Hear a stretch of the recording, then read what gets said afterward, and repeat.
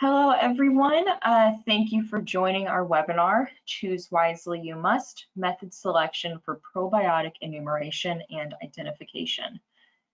This webinar will be hosted by Andrzej Binkowski and Anthony Kiefer. I'm Genevieve Randall, and I'll be moderating this webinar. The webinar is being recorded, and the slides and recording will be available for you within three business days. A short Q&A session will follow the presentation to answer any viewer-submitted questions. During the webinar, you can submit questions you have using the webinar sidebar menu. Select the questions tab, type in your question, then hit enter on your keyboard. Remember, you can submit questions throughout the webinar. Okay, Anthony, you can start your presentation. Thank you. Thank you for the introduction. So my name is Anthony Kiefer. I am a probiotic development manager at IFF and located in our Madison, Wisconsin site. And I want to talk today about method selection for enumeration and identification of probiotics and how it's really specific for our IFF portfolio. So Andrzej, if you want to go to slide number two for me.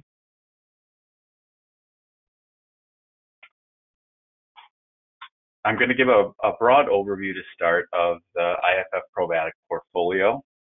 Then I'm going to move on and talk about identification of our probiotics. Uh, and I'm going to uh, focus specifically on our strain-specific identification methods, which are captioned in USP monographs.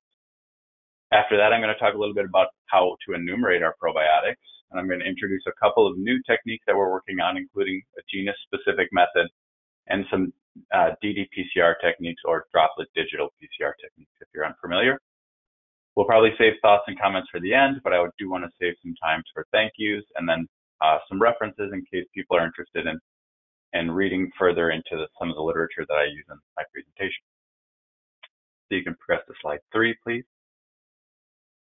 The portfolio at IFF is, is much broader than just probiotics, but today we're here to talk about probiotics. And we have over 100 years of experience in probiotics with more than 600 scientific publications and more than 70 clinical studies on probiotics alone. We boast high stability, and that's due to a combination of efficient fermentation, drying processes, and patent protected stability technology, and that ensures perfectly active probiotics in optimal forms. We formulate only using the best probiotic strains and combinations to ensure your product delivers the results you desire. We have expertise in digestive, immune, brain, oral, and women's health and weight management, to name a few, but that is ever expanding. And then our, our portfolio currently offers around mm, you know, more than 25 actually unique strains from over 10 different genera. You can progress to slide number four. So to start with probiotic identification, some things that you need to know as you know a consumer or a customer or someone who's formulating with probiotics is that there are multiple different identification techniques that exist and that they're not all created equally. Some terms that you may have heard or be familiar with are 16S rRNA, riboprinting, strain-specific PCR, MALDI-TOF, and API kits, but there are others. Um, and these are all commonly used within the industry. But differences in applicability and, and specificity must be considered. And we have to understand when selecting the correct method uh, that it's, it's really important when ensuring accurate identification. And some labs may not have knowledge or expertise specifically in IFF probiotics or products to understand how to accurately identify our probiotics. And so to demonstrate that fact, on the bottom of the screen, we have a product, uh, Howaru Restore. And so if you see this product contains two Bifidobacterium lactis strains, BIO7 and BLO4. Now, if you wanted to identify, for example, BIO7 in this blend, and you chose 16S sequencing, 16S rRNA sequencing as your method of detection, what you would find is that you can't uniquely identify BIO7 in this blend because BIO7 and BLO4 have a 100% identity match for the 16S region. So choosing this method may give you a false positive, in fact, that BIO7 is present when you could just be identifying BLO4. And so this is one simple example of why the correct method choice is really important. And having someone with expertise in IFF portfolio of products and and really the genomes for identification is important. We can progress to slide number five. So I want to give a brief overview of each of the techniques that, that I uh, just introduced so that everyone has a, an overall understanding of what, the, what it means when you request this type of identification. 16S rRNA sequencing, sequencing excuse me, has a level of distinction at the species or subspecies level. It's based on variable regions of a gene called the 16S gene. Uh, and this is often used, and at IFF it is used for confirmation of identity and, and quality release. It's also used for identification of contaminants. Another technique that's typically used at IFF and used for quality release is riboprinting. This has a, a, a maybe slightly more specific level of distinction, which is at species and subspecies level, but can sometimes distinguish um, strain depending on how unique the fingerprint that is created from riboprinting is. And this is based on bands which are generated after digestion with a restriction enzyme.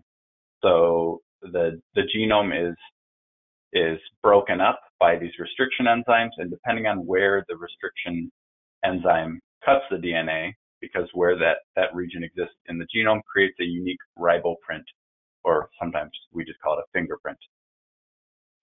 And this is also used for identification of contaminants at IFF. Now, PCR assays, which we've captured in USP monographs, have a level of distinction, at, at least for the ones that we've designed and, and incorporated into the USP monographs, are at the strain level. And they're based on unique genomic sequences. So we use those for strain specific identification when that's necessary. We also use it for identifying contaminants. But most importantly, it's used for single strain identification and multi strain products, but also matrices. So, you know, we could use it in yogurt or something similar, a fermented food, for example. So moving on to the next slide, slide number six. MALDI-TOF is something that you may have heard of. It stands for Matrix Assisted Laser Desorption Ionization Time of Flight. The mouthful, which is why it's referred to as MALDI-TOF. It, the level of distinction is species or sometimes strain level, so a little bit more specific again. It's based on protein or biomolecule typing.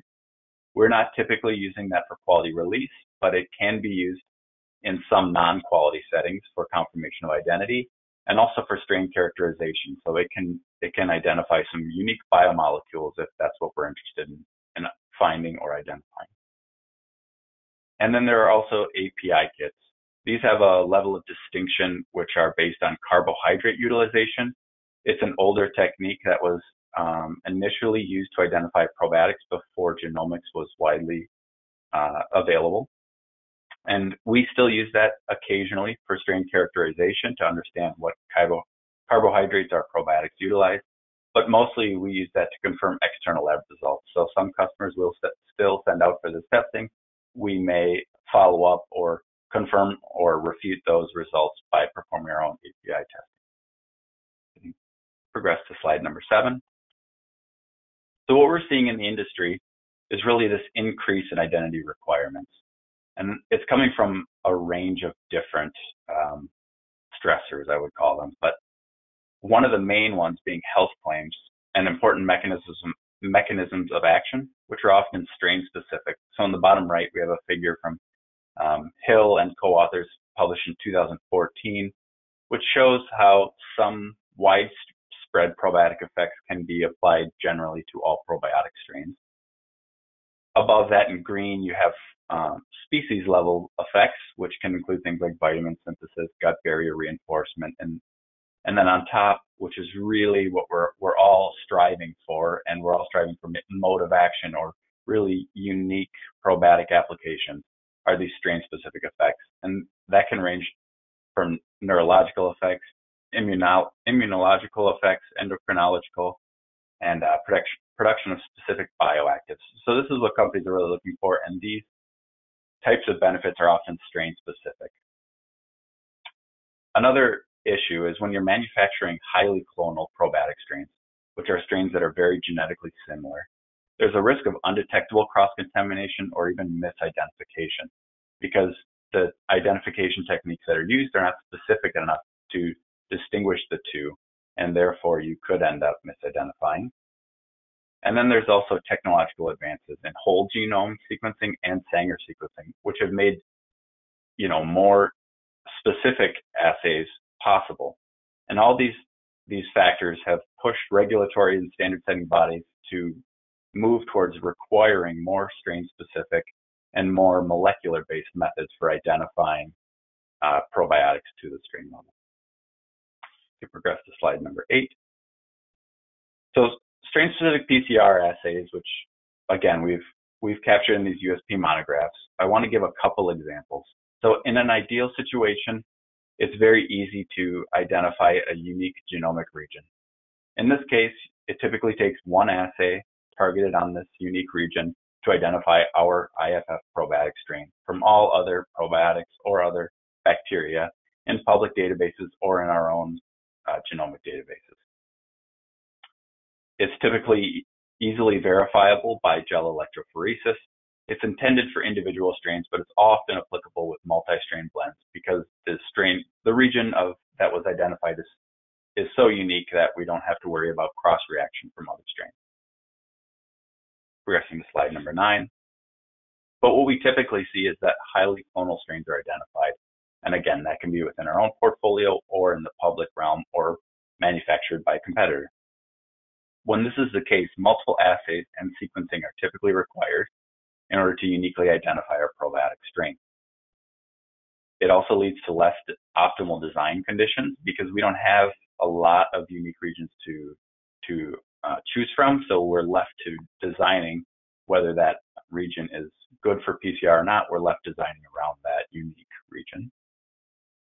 And it's intended for individual strains, but it's not always applicable in multi-strain blends. So if you think about designing an assay for something that in the in the middle you can see we have two strains of uh, bacteria which have a pairwise identity of 99.9%, meaning they're 99.9% genetically ident identical. So once you mix those two strains into a product, it can be difficult to apply some of these uh, strain-specific assays to that mixed product. Okay, so we can progress to the next slide, number 10.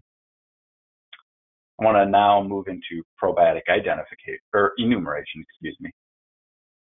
Bacterial enumeration uh, evaluated using nutrient agar was developed over 100 years ago. And agar plate enumeration methods are used to determine potency for quality release at IFF. But agar plate enumeration methods are optimized for each IFF strain. And this is really important to understand because the methods are internally validated with specific techniques, reagents, temperatures, incubation time. And those results can differ if any of those, those factors are altered. And even small changes in, for example, rehydration time or incubation time can make a major difference in the enumeration result that you get and could lead to, you know, unnecessary halts in production or re, uh, rejection of product. This is why it's really important to understand what the IFF technique for enumeration of that product is and to make sure that you're you're following the product or the the protocol specifically. Agar techniques also have several weaknesses to consider. Current methods are only capable of total bacteria or sometimes genus or species specific counts. They have an estimated variability between 15 and 35 percent. However, those differences can be even greater. I think you know, looking in at an internal lab, that can be a high estimation or, or an accurate to high estimation. But when you talk about different labs, especially those with no probiotic experience, the difference uh, and the variability can get even higher than that. IFF is working on next generation enumeration methods with reduced variability and increased specificity. And I'm gonna I'm gonna now present a couple of those techniques. The first one is genus level agar plate counts, and which adds specificity to plate counting. And so we have two currently, Bifidobacterium selection, which uses MRS supplemented with mupirocin and cysteine. Examples of strains that this could be used to detect is BL04, BB18, HN09, B420, BI26. These are strains from our portfolio. The problem is if those are mixed, you would only get one bifidobacterium count, but it would tell you the bifidobacterium count and it would not tell you, it would not include any other species. For example, uh, lactobacillus, sorry, genus, lactobacillus. And the other technique is for lactobacillus selection. This is based on the lactobacillus genus prior to the new um, the splitting of the of the genus into multiple genera, but it is an MRS technique again, but it's using a micro aerobic conditions rather than the typical anaerobic conditions used for lactobacillus or bifidobacterium. And that alone is enough to eliminate bifidobacterium from the count and only only count lactobacillus strains. And some examples of those strains would be GG, LA14, NCFM, LP115, or LPC37. Okay, we can go to the next slide, number 12. The last technique that I want to talk about today is droplet digital PCR. We get a lot of questions about this. It is our, one of our newest techniques that we're developing. It, it represents the latest development in DNA quantification. So what digital PCR? A brief overview of droplet digital PCR. And there is another technique which is similar called chip digital PCR. What it does is it partitions samples into oil droplets and uses a Poisson distribution to extrapolate absolute counts from the number of partitions, showing amplification of single gene targets. And that's a mouthful. So on the very bottom, I have a diagram from um, Bio-Rad's website. We use the Bio-Rad system for, for ddPCR. And if you look at the, the far left box, you may have a mixed, a mixed strain sample. The green uh, squares being the strain that you're interested in, the target strain, and the black squares being an off strain that you're not interested in enumerating. You'll take that sample and you add it to a PCR mix, and then that will be formed into droplets. Because there are less copies of the sample than there are droplets formed, some droplets will end up with a copy of your target, others will not. And then you will perform PCR or thermal cycling, which will amplify, that reaction will amplify the target sequence only in droplets that contain that target sequence. Other droplets will not be amplified. Those droplets can then be counted, and based on the number of amplified droplets compared to the number of non-amplified droplets, you can determine how many copies of your target were in the original sample. So that tells you how many copies of DNA were in your original sample, which is great. But for probiotics, what we're really interested in is viable cells. So this isn't enough, and this is where viability droplet digital PCR or VDDPCR comes into play. We use a combination of PMA and EMA, which are viability dyes. And they, if you look at the diagram in the upper right hand corner, what they do is they eliminate dead cells from being amplified in the PCR reaction. That can be done either by membrane integrity. So if a cell has an intact membrane, the dye will not be able to enter and bind to the DNA and exclude it from count or if it has active efflux. So if the pump is able to, if the cell is able to pump the dye out before it binds to the DNA, then it will also be counted as a live cell. So the dye is really exclude dead cells from the count, and therefore we're only counting viable cells DNA. So that gives us a viable count. VDDPCR offers a lot of improvement over agar plate counting methods, including faster time to results. So we see four to eight hours. We're getting enumeration results as compared to 24 to 72 in plate count and other culture-based methods. And it's more accurate. So uh, in a paper from Hansen, uh, Sarah Hansen, one of our uh, former colleagues, and myself and some other colleagues, we, we found that the method variability was 1 to 3% in droplet digital PCR compared to 12 or 20, 12 to 20% with plate count results. And we also found in that study, in the kind of bottom right diagram, that there's good correlation with a number of our probiotic strains between our viable digital PCR technique and plate count. Okay, so moving on to slide number 13. Just to give a, a brief overview for those who are interested in the droplet digital PCR method, kind of the difference in uh, technique. Both typically are starting out with a probiotic sample, often a freeze-dried probiotic. So it's being rehydrated and diluted. For plate count, following the bottom arm, you would then put the diluted sample onto a plate. We do an, a pour plate technique. So we would pour agar, liquefied agar on top, swirl to mix it, let it solidify, then we would incubate it and we would count the, re the resulting colonies. And that would give us colony forming units or CFU per gram of the starting material.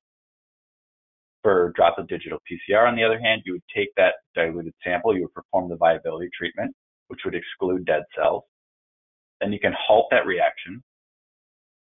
You can then lyse the cells to make PCR easier, so make it easier to access the DNA of those live cells. Mix that, PC, that sample with PCR reagents, form droplets, thermal cycle the droplets to, to allow the reaction to take place, and then you count the resulting droplets and, and you determine the number of positive droplets and negative droplets, which then tells you the number of viable copies of, D, copies of DNA from viable cells, or what we typically call viable copies per gram of starting material. So you can progress to slide number 14.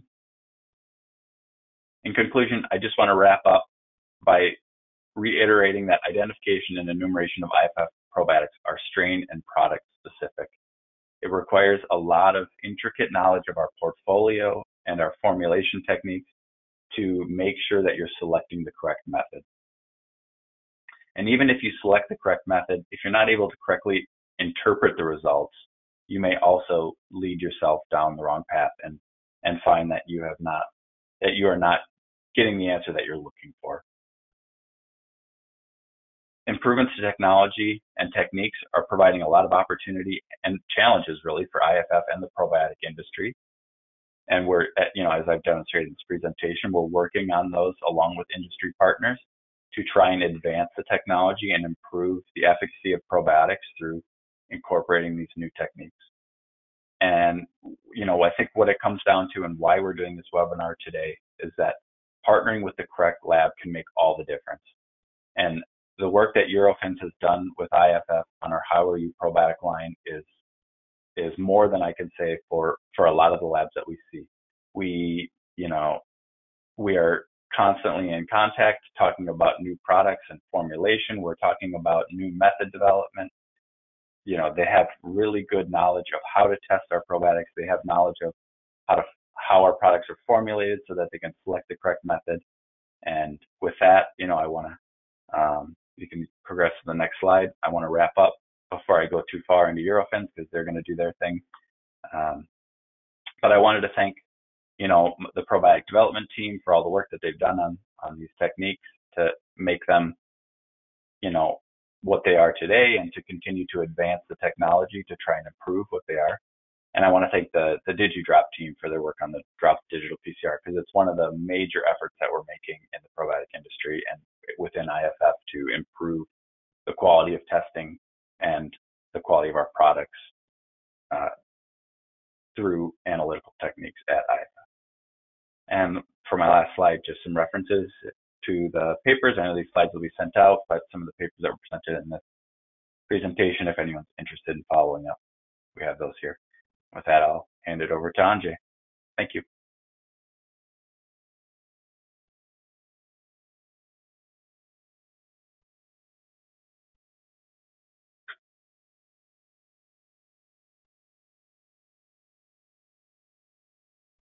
Thanks, Anthony. Uh, can everyone hear me? Genevieve, are you there? Can you see my slides? Everything looks great. Okay. Uh, thanks again, Anthony, for that uh, and and that that comment at the end. It, it it's it's true. I think um, you know partnering with our our probiotic manufacturers is is an important piece in order to deliver consistent results um, using you know the, the correct methods, which I'll get into in a lot more detail in my presentation. So uh, you know, my name is Andrzej Binkowski. I'm the Senior Technical Leader for Probiotics and Dietary Supplements with Eurofins, based out of our laboratory in Madison, Wisconsin, um, down the road from Anthony and the IFF team.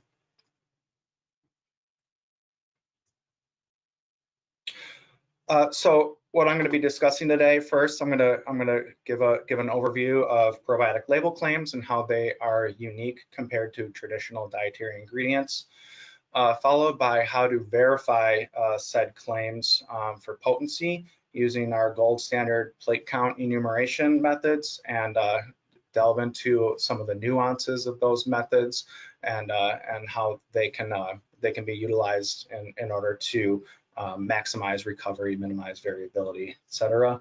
And then I'm going to touch on a few options for identification. I know Anthony went into uh, a lot of great detail on some options there, but I, I, wanted to touch on just a couple that, that we're offering here at our Madison lab. So first, um, probiotic label claims when milligrams is not and will never be enough. So just to level set our uh, my scope, I'm going to be discussing probiotics as dietary ingredients in dietary supplements in the United States. Of course, things and the regulations change depending on what country and what format. Um, so that that's what we're going to talk about here. And in accordance with the Code of Federal Regulation, dietary ingredients must be listed by weight on the supplement facts panel. Uh, the problem with listing probiotics by weight is that it actually does not inform the consumer of the actual quantity of probiotics present. Uh, for one, because uh, the cellular mass will also include dead or inactivated cells, which are not considered probiotics um, in accordance with the WHO definition, which is live microorganisms, which when administered in adequate amounts can confer a health benefit to the host. Um, also, uh, uh, lyophilized raw materials can vary greatly in potency per gram. So you may have one strain um, that whose potency is like 100 billion CFUs per gram, and another that is that is 500 or even more CFUs per gram. And so, uh, you know, listing in milligrams really does not give an accurate representation of what uh, uh, the quantity of probiotics present. So to address this, the FDA published a draft guidance for the probiotic industry in 2018, essentially saying that along with milligrams and listing by weight, um, manufacturers can also list their probiotic content in colony forming units or CFUs. Uh, they also mentioned that they are monitoring the development of new technologies and their potential impact on the use of other units besides CFU for example, uh, using flow cytometry and providing units uh, as, as active fluorescing units, for example. So the draft guidance uh, was published and they gave uh, a lot of great information on how to formulate a probiotic supplement facts panel, which you can see an example on the right. Um, so of course, first the quantity must be listed in terms of weight. Um, by you know by regulation it needs that that uh, that moniker and then next to that the declaration of quantity in CFUs needs to be expressed in a manner that is clearly separate and readily distinguishable from the weight. That declaration of CFUs should be formatted in clear terms, for example, spelling out the word billion and, and, not putting it in a format such as scientific notation that may not be understood by the average consumer the declaration of quantity in CFUs needs to be accurate and not misleading and does not render misleading other aspects of the supplement facts panel or other aspects of the product label. The declaration of quantity in CFUs measures only live microbial ingredients and does not include dead cells. Uh, going back to the definition of probiotics, of course. Uh, live microbial dietary ingredients in a proprietary blend need to be listed in descending order of predominance by weight, and that the product label otherwise complies with all applicable laws and regulations. So general information and best practices on probiotic label claims. Um, we like to see the claim made at the end of shelf life and not the time of manufacture. Uh, I believe that is misleading to put a label claim at the time of manufacture because traditional probiotic lactic acid bacteria will slowly degrade over time. And so the consumer at any given point will not know the actual quantity present. And for all we know, there could be rapid degradation post manufacturing uh, by the time you know the shelf life uh, comes around a couple years later. Uh, strains need to be listed, so the microorganisms listed should be listed to the strain level. Again, this is this is uh, based on uh, strain-specific health claims. Uh, the, the clinical trials performed are done to the strain level. The potency of each strain should be listed in, listed in CFUs. This this can be a challenge with multi-strain blend products. Uh, for one, because uh, the way that we measure CFUs does not have the specificity as Anthony mentioned. And so if you're talking about a complex blend of, of lactic acid bacteria, for example, in a product, uh, this simply may not be possible. So there is the option of listing CFUs um, uh, by input, taking the value of uh, the strain COA um, in CFU per gram, and then extrapolating the amount of CFUs um, in a product by, by the amount of milligrams added. The serving size should be listed. It needs to be accurate uh, to the efficacious dose. Again, going back to a probiotic needs to demonstrate a health claim. This is proven through a clinical study. That clinical study has an efficacious dose, and that dose should be present in the product in order to demonstrate that health claim. Storage conditions should be listed. Some probiotics need to be stored refrigerated, others can be stored at room temperature. And of course, health claims as allowed by law and substantiated by the by the by the clinical studies I mentioned. Um, ISAPP put out a nice infographic uh, here on the right um, that helps decipher a probiotic label. So you gives recommended use, a lot of the same things I mentioned, the dosage, um, colony forming units, again, at the time, uh, avoiding stating the CFU at the time of manufacture, because it doesn't account for that decline, like I said. Genus, species, and strain, company name, and the use by expiration date, storage information, of course.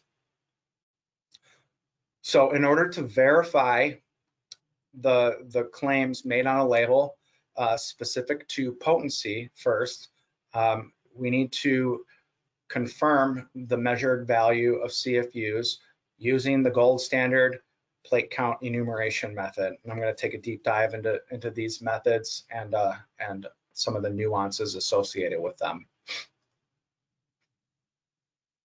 So here's an overview of a plate count method. I know Anthony spoke uh, in some detail about this already. Essentially what we want to do is take a concentrated material, uh, dilute it and, and in a series of stepwise dilutions until we can get to a concentration of cells that can form uh, colonies within a countable range that can be estimated accurately on a Petri plate. Typically that's anywhere from 25 to 250 or 30 to 300 colonies. Um, and the CFU by definition is that colony forming unit, which is a probiotic cell who has the ability to replicate under ideal growth conditions. Of course, these methods have a number of challenges. First and foremost, they have quite a bit of intrinsic variability. Um, we use the 30% variance as a general rule of thumb and an industry standard, but of course this number can vary depending on the strain, the method, and of course the matrix um, that it's inputted in. Um, and, and as Anthony mentioned too, you know, once you start talking about interlaboratory variability, that number can increase quite a bit, looking at different methods and things like that um, there's a lack of specificity with these enumeration methods. So we're unable to enumerate individual species in a blend. There are, you know, there are a few methods here and there that may be able to distinguish, like for example, an acidophilus in a blend. But in general, um, the, the, the best we can do for specificity is, is getting to the genus level. And we definitely can't enumerate uh, by plate count to the strain level. It's just not, not possible. Finally, there's a lack of harmonization with these plate count methods. Of course, we have standard methods such as the ISO standards. There's USP methods as well. Um, and then, of course, we have uh, manufacturer methods. So every strain manufacturer has their own developed and validated enumeration methods that are tailored to their strain portfolio. Here at, at our lab in, in, in Madison, we also have internally developed and validated enumeration methods that that can be implied uh, in particular situations that that deem them required. For example, like when a product may contain two different manufacturer strains, we can we can use our internal method to verify those claims. And then sometimes you'll see um, product specific methods. So there may be a unique property to a material like microencapsulation or a unique format. Um, you know, I'm thinking like a solid food or something that requires uh, specific steps in order to um, release those cells or, or get the recovery and get an accurate representation of the cellular population present.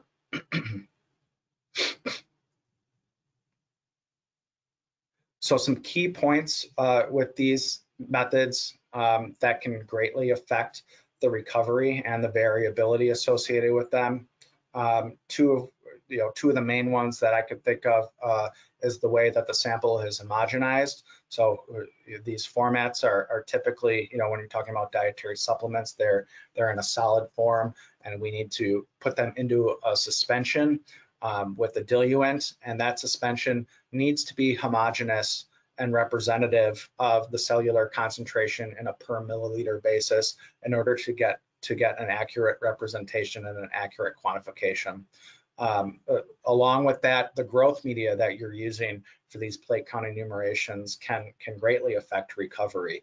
Um, and, and using the correct growth media is imperative um, when you're talking about accurate and precise results.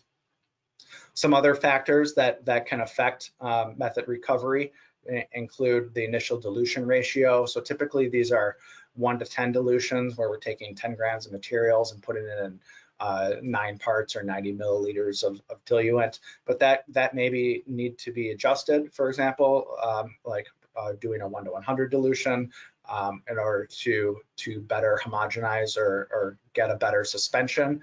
Um, this also can help when uh, 1 to 10 dilution, there may be other active ingredients in the material that could drop the pH of that suspension, causing rapid degradation. And one thing we want to, course, always avoid when we're testing these products by plate count methods is any sort of um, negative interaction during the testing.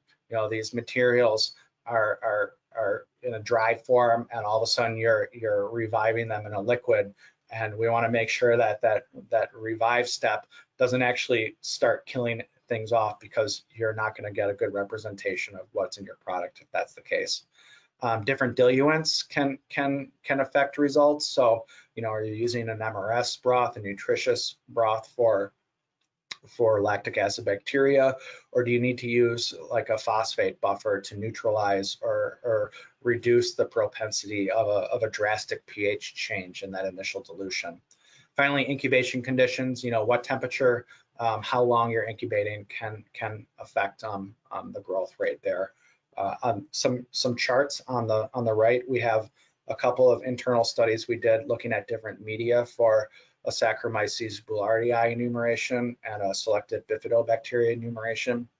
And you can see while, you know, while they're comparable, uh, we do see a slight trend for uh, YGC agar giving slightly better recovery compared to YEPD and TOS growth media giving slightly better recovery um, compared to the MRS with um, selective reagents. So the key to these methods and, and what we're striving for is to maximize the recovery and minimizing the variability. Uh, maximizing the recovery is going to allow you to not have to put as much into your formulation. And of course, minimizing variability will reduce the amount of overage required when you're testing these products and formulating them uh, uh, method variability as well as shelf life degradation need to be taken into account. So you're hitting that label claim at the end of shelf life. So a, a, a few ways to help maximize recovery, uh, the type of homogenization required. So uh, most commonly we see stomaching as, as the homogenization method of choice. This works really well for powdered samples. This is like a, a peristaltic uh, uh, motion using two paddles that you uh, you're introducing um, and you're and you're homogenizing a, a sample in a, in a, sample bag. This works really well um, for a lot of different types of samples. Um, but there may be uh, instances when uh, we may need to try a different technique. So is the is, are the materials you know in a finished food or a, or a solid food format. Perhaps stomaching isn't going to give you that homogeneous suspension, and you need to look at something like, like blending the sample. um, sometimes these cells, uh, depending on the strain, they have the propensity to form microscopic clumps. And so uh, uh, applying a technique such as sonication to help break up those microscopic clumps um, can help improve recovery because one clump of 10 cells may show up as a single colony forming unit, um, when it's actually 10 cells present. So you can see how something like that could potentially affect the recovery and the numbers um, of CFU present when you're using these techniques. Um, things like stirring can be employed. Uh, sometimes a combination of techniques may be, may be used. So perhaps, you know, you homogenize at a macro level using stomaching, and then you take that to sonication to break up any microscopic clumps. Again, we're looking to maximize that recovery, and this is one one step in the procedure that can that can really be evaluated to help do that. Uh, a couple other things to consider is how long to stomach or how long to homogenize. Maybe you're working with a highly sen oxygen sensitive bifidobacteria where, you know, if you're stomaching for uh, minutes, there you could be incorporating extra oxygenation and and again causing that rapid degradation that we're we're trying to avoid. So you know minimizing that amount of time getting a homogeneous suspension but but minimizing that that that length of time in order to prevent that degradation is something to evaluate. These methods sometimes incorporate an initial dilution hold time. You know we're looking at lyophilized or freeze dried materials that are in a you know, in a somewhat dormant state um, in the product. And so holding the holding the initial dilution in a in a broth or in a diluent helps revive those dormant cells. Of course, you don't want to have that go too long where you start to see the cells actively replicating you know, something like 10 minutes to 20 minutes, uh, up to 30 minutes is, is typical hold times we see for these. And these are all easy applications to test. You know, if you're developing your own method, maybe you want to check different steps along the way and, and try different variables to see, you know, is this going to help improve my recovery um, when we're evaluating a particular product in a particular matrix. You may want to consider tempering diluents. This is helpful when you're homogenizing like gummy material, for example. Uh, warm diluent can aid in the dissolution of those gummies. Heat shocks are, are often um, used when you're testing spore samples, um, where you're only looking for uh, the spore count. So a heat shock is going to knock down any vegetative growth and allow for the germination of the spores and and and giving you an accurate representation um, using that particular technique.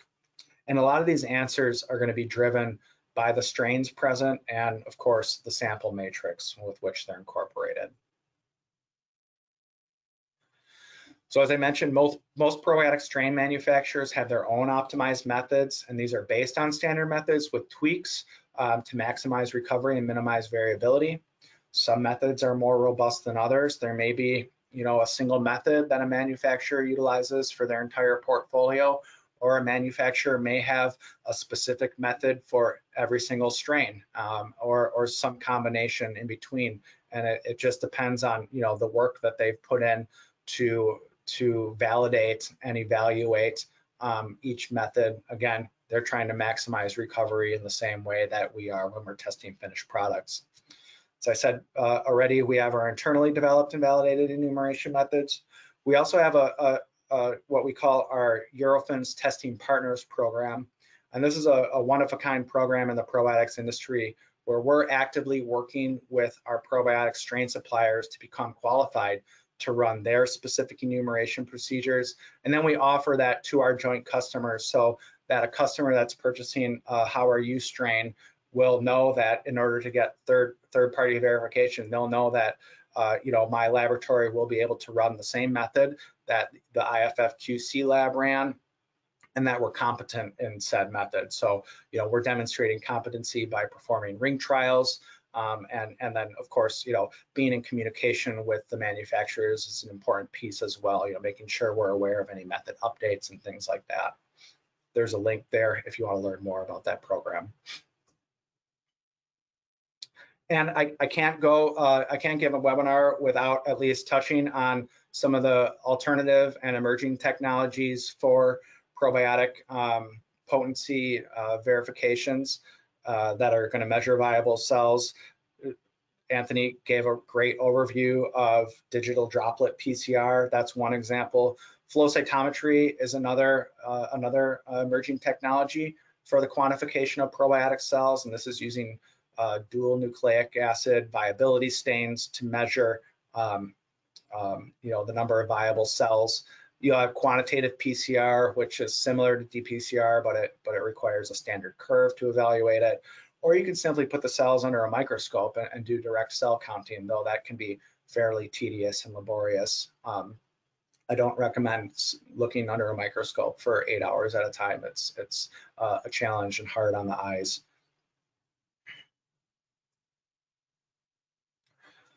So we have these methods, but how do we know that they're giving you the right number? Well, we need to ensure that the method is fit for purpose by performing method validations or verifications. Uh, method validation can be um, can be uh, developed with using guidance documents such as AOAC, ISO, ICH, and USP for the various parameters and acceptance criteria, or perhaps there's a, you know, your internal quality system has their own specific parameters for a method validation. Validations are used for new methods and, and new products. Um, for example, you know, our internally developed methods have been fully validated. Um, verification uh, is a little bit different than validation in that it's typically less parameters and it's used to qualify a previously validated method on a different material, uh, which we call a matrix extension, or at a different location, such as uh, you know us verifying our ability to run a previously validated manufacturer method. A verification can also be applied when we're making small changes to a method um, that's already been validated to ensure that there's no drastic changes um, in results when we make those changes in the procedure. So some parameters for plate count methods. Uh, we want to look at accuracy. How close is the measured value uh, that we're getting uh, to the true value uh, that that is there? And there's a couple of different ways we can address this. Uh, precision looks at you know how how close in relationship uh, multiple tests or multiple results are when tested in a single bench session. repeatability starts adding in different variables such as how the method performs on different days, using different lots of media, uh, things like that, different equipment. Uh, reproducibility is is how the analyst or how the how the method performs when being tested by different analysts or different operators. Robustness looks at um, small changes to the method and how they may affect um, the recovery. So things, parameters we'll look at when evaluating robustness um, uh, are often things like incubation time and temperature, uh, among others. Um, you know, we'll want to look at selectivity, specificity, um, if applicable, if the method's selective, LOD, LOQ, you know, how, how low can we go before we start seeing interference, interference, and then linearity of the method. So can we get accurate results at different concentrations of, of probiotic when compared to um, other material present in, in, the, in, the, in the product? So some examples of validation acceptance criteria. We often use a t-test to demonstrate no statistically significant differences. So things we can evaluate as, you know, no differences between days, lots of media, analysts for reproducibility, and small changes to the method for robustness. When we look at precision, we want to, we, we're looking at uh, percent relative standard deviation. So that's shown in the chart um, on the on the bottom right. This is a precision evaluation for our internal total probiotic enumeration method. You can see we did uh, six replicates, and then we take the average and standard deviation, and from that we get the percent RSD, and we see that we're compliant with a less than 15% acceptance criterion. Accuracy evaluation, one, one way to do this is, is to take the candidate method, our internal method, and compare it to a reference method, like an ISO standard. And that's what's uh, exemplified in the, in the table on, on the top. So we took our internal uh, enumeration method again, and we ran it against an ISO standard. And we looked at the recovery, and you could see with the mean recoveries, we're hovering right around 100 plus or minus 10% for those. So that's compliant, and we deem the method accurate. Um, a coefficient of determination or R squared value uh, greater than 95%. This, this can be used when you're looking at linearity. So that, that's an example of linearity on the right, um, looking at the expected value of the, of the probiotic potency compared to the value that's obtained when we measured it. And then the table here um, is is, an example of a robustness evaluation. So uh, we're looking at serial diluent volumes, 9 mils versus 99 mils, or performing 1 to 10 serial dilutions versus 1 to 100 looking at different incubation temperatures. So the method calls for 35. We we stress that at and tried incubating at 30 degrees and 42, and then counting the colonies at, on different days. The method calls for um, you know incubation for three days. We we read the colonies at two and four respectively to show that you know making these small changes may not affect the recovery in the end. What you can see is for the majority of those changes, we maintained that 70 to 125% recovery. You can see with one exception at 48 hours and 30 degrees Celsius, uh, it was not enough time to form visible colonies. So that's helpful information, uh, you know, when we're evaluating these in real time. Uh, if any deviation, uh, protocol deviations need to happen, we know that, you know, at 48 hours and 30 degrees, we're not going to get growth. Okay, so now I'm going to switch gears a little bit. Um, uh, Anthony gave a lot of great information on probiotic identification. I'm going to touch on just two examples. Um, of course, there are many other options for identifying probiotics. Again, this goes back to verifying label claims. We need to make sure that what we're putting on the label and the organisms and strains present on the label are actually what are in the product. And so uh, two examples of that that we're routinely performing here at the, at the laboratory in Madison include PCR identification or polymerase chain reaction. So this is identification using strain or species specific primers in order to observe amplification of the target organism. This is based on the principle of enzymatic replication of nucleic acids. So first you have denaturation, uh, the, the DNA is heated at 94 degrees Celsius. This breaks the, the, the DNA double helix and makes two separate single strands. then we lower the temperature anywhere from 50 to 70 degrees C. This allows the, the strain or species specific primers to bind or anneal to their complementary DNA sequence. And finally, the reaction is then heated to 72 degrees. This is the optimal temperature for the DNA polymerase to act, and that polymerase then extends the primers using the free floating nucleotides uh, and, and adding them onto the DNA template in a sequential manner. And with one cycle, then a single segment of target double-stranded DNA is amplified into two separate pieces. If you continue the cycling, you'll continue to uh, increase the number of pieces of DNA exponentially.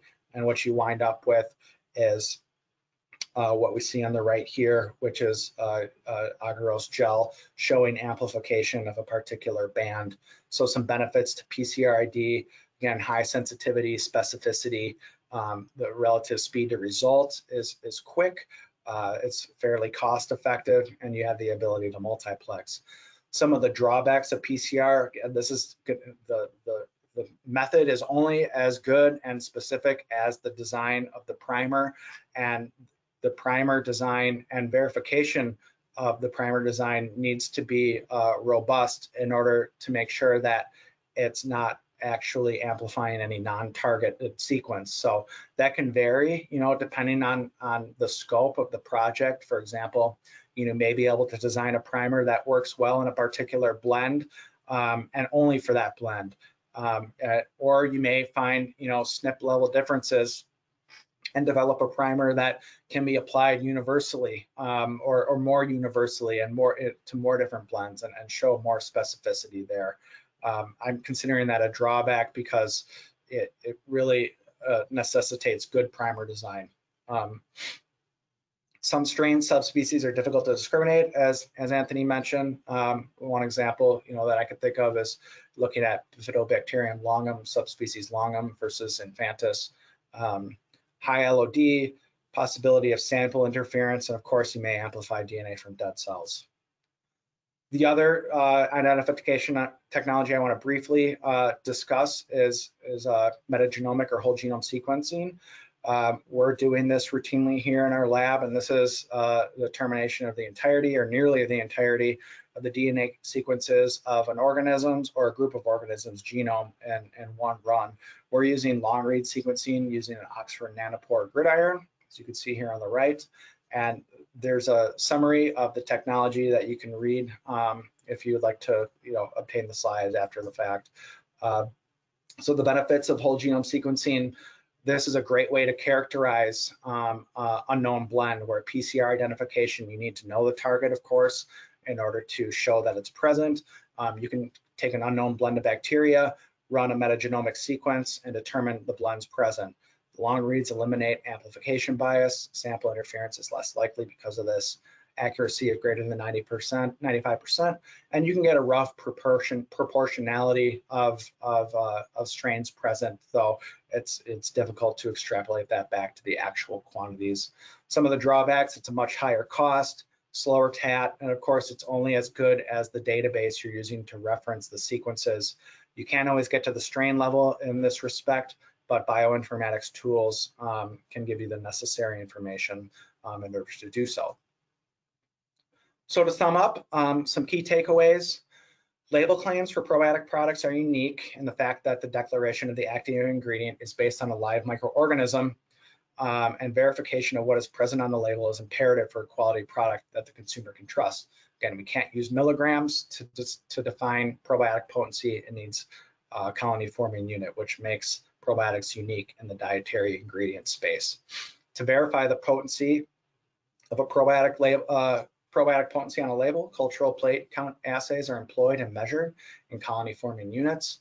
And of course, we know that plate counts have the drawbacks of variability, lack of specificity, and lack of harmonization.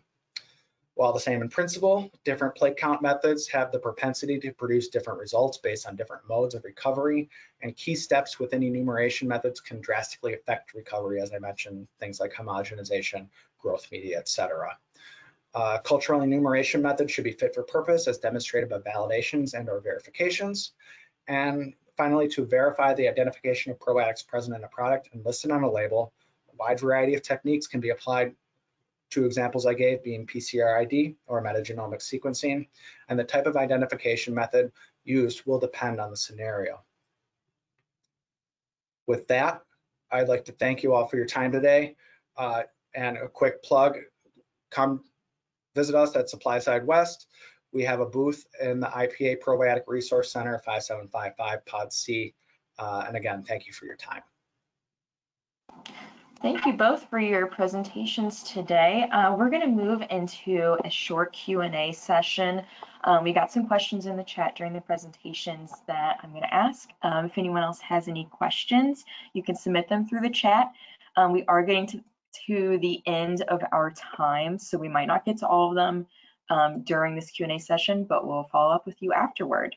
And a reminder that you will receive uh, a copy of today's webinar recording and the slides via email within the next three business days or so. All right, with that, the first question is, are the probiotics clinically proven probiotics? Do they fit the FAO slash uh, WHO definition of probiotics? And Anthony, that was asked during your presentation. Sure. So I can only speak to our portfolio, but yes, they are all probiotics. They all fit the FAO/WHO definition of a probiotic.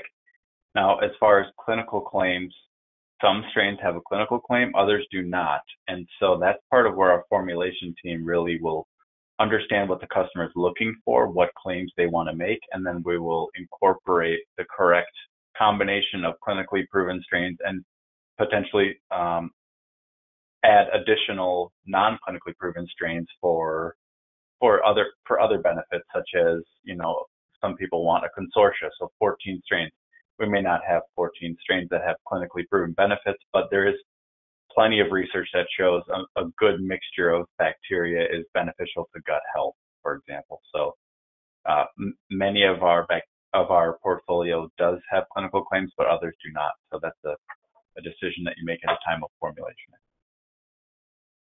Okay, great, thank you.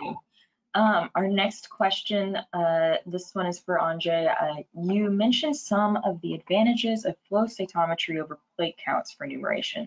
Why isn't flow cyt uh, cytometry being utilized as much compared to plate counts for verification of potency if there are some clear-cut advantages to the technology?